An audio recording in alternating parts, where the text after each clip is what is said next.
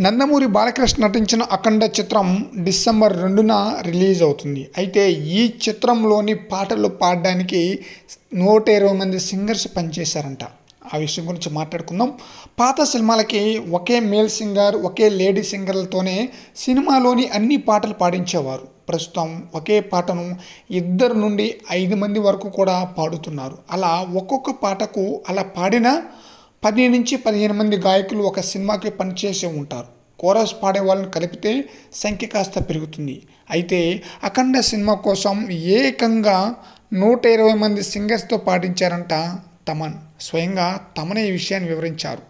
Title song కొరకు పదుల సంఖ్యలో సింగర్స్ పాడారంట. మిగతా పాటలు కూడా ఇద్దరు ముగ్గురు గాయకులు చొప్పున పాడించుకున్నారంట తమన్ టోటల్గా అఖండ సినిమాకు నూట ఇరవై మంది సింగర్స్ పాడారంట. ఇది మామూలు విషయం కాదన్నమాట.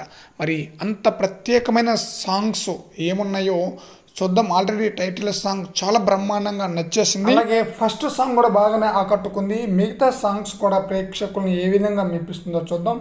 మరి డిసెంబర్ రెండున రిలీజ్ అవుతున్న ఈ చిత్రం అఖండమైన విజయాన్ని నమోదు చేసుకోవాలని చెప్పేసి కోరుకుందాం ఫ్రెండ్స్.